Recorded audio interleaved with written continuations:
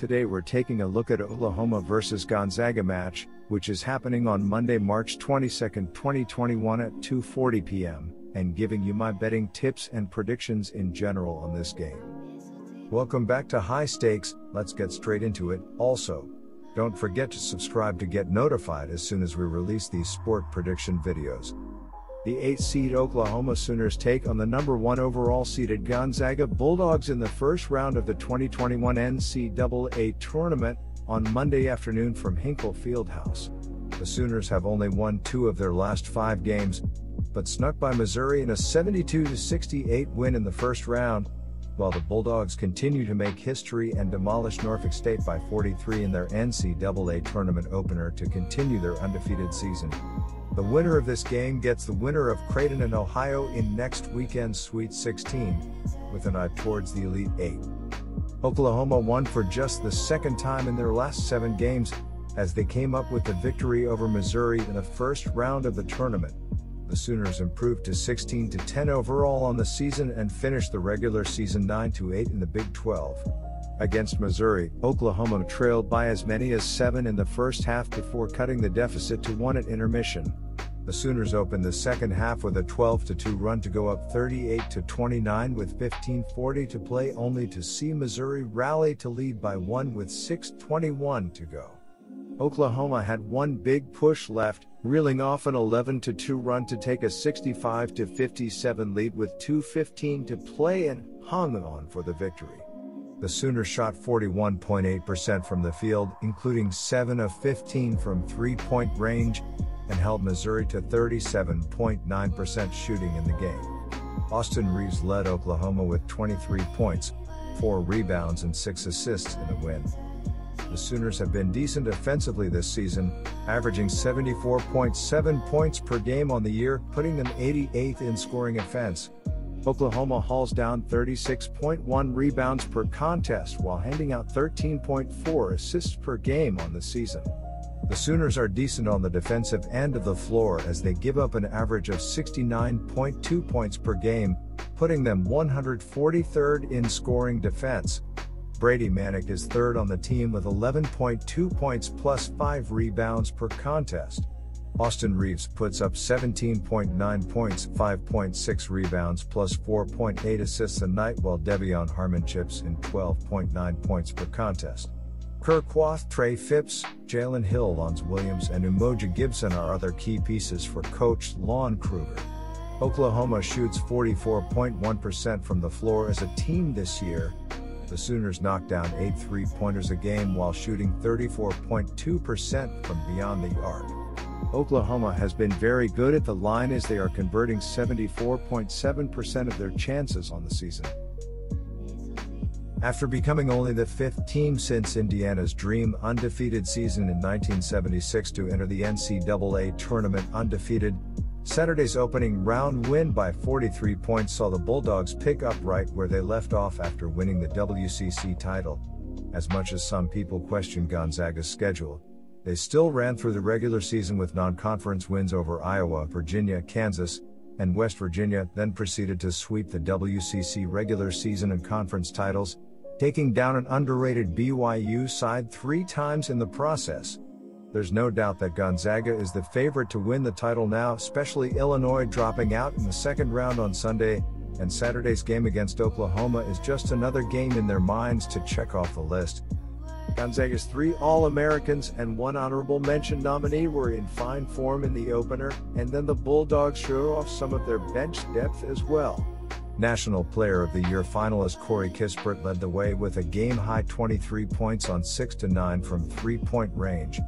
To balance out the offense, Drew Timme went for 10 points and 6 rebounds in a light effort. Running the show is Jalen Suggs, but he was slow to just 6 points and only 18 points, but will surely be back to his dominant self against the Sooners' depleted backcourt. Oklahoma was able to get past Missouri even without its second leading scorer in De'Vion Harmon. The Sooners took down Mizzou by the final score of 72 to 68 in a game that Oklahoma was down by one at halftime. Oklahoma jumped out to a strong lead early in the second half, and that lead was never really in question throughout the rest of the game. Oklahoma's reward is to now play the number one overall seed in the tournament in Gonzaga, a team that has not lost a single game all season long. Oklahoma's leading scorer so far this season has been G. Austin Reaves, who has scored 17.9 points per game for the Sooners. Oklahoma as a team has scored 74.7 points per game and has shot the ball at a 44.1% clip from the field. Oklahoma has also allowed 68.0 points per game to its opponents as well.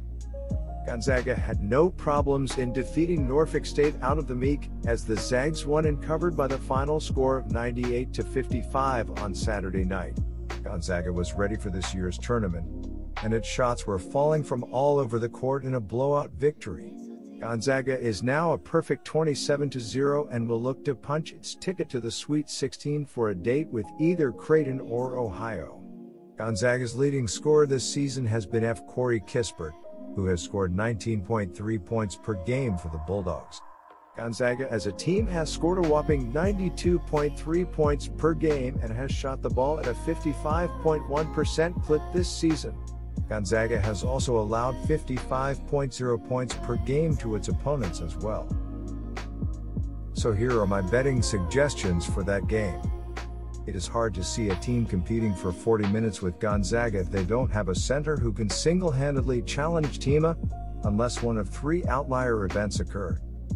First, Timme could be sidelined with foul trouble. That isn't a catch all, but it sure does make life easier. Second, the Zags could go ice cold shooting from outside the arc. Gonzaga's only single digit margin of victory this season came against West Virginia, when the Bulldogs hit just 4 of 16 from outside, plus Suggs missed a large stretch of that game with injury. Lastly, the opposite could occur Gonzaga's opponent could hit a mind blowing percentage from long range. In the first half of the WCC tournament final, BYU did just that, hitting 69% on 13 attempts en route to a 12 point halftime lead. All three of those things have happened this season, and yet the Zags are still unbeaten. It's starting to feel like all three need to occur in the same game for anyone but the nation's top three or four teams to threaten the Zags. There's no recent evidence to suggest this Oklahoma team is the one poised to perfect the game plan to beat the Zags. Gonzaga has beaten teams a lot better than Oklahoma by larger margins than this spread. My first betting advice for that game is to pick Gonzaga minus 14. Oklahoma is 1 to 7 ATS in their last 8 games overall and 2 to 7 ATS in their last 9 NCAA tournament games as an underdog while the under is 5 to 1 in their last 6 games following a win. Gonzaga is 4 to 1 ATS in their last 5 neutral site games and 1 4 1 ATS in their last 6 Monday games while the over is 38 to 16 in their last 54 games overall. Now we really get to see what Gonzaga is made of as Norfolk State was never really going to challenge Gonzaga and Oklahoma proved their chops against a game Missouri team. However, as much as I don't want to admit it at times, the Zags look legit. I mean, this looks like a team that could run the table. Oklahoma has the offensive potential to hang here, and this line feels like a bit of a slap in the face. But realistically, I just think that the Zags barely get a cover here, winning by 17 points, something in the 81 to 64 range. My second betting advice for you is to pick over 154.5. Good luck to all of you. That's it for this video. Stay tuned and stay safe for the next betting tips and advice.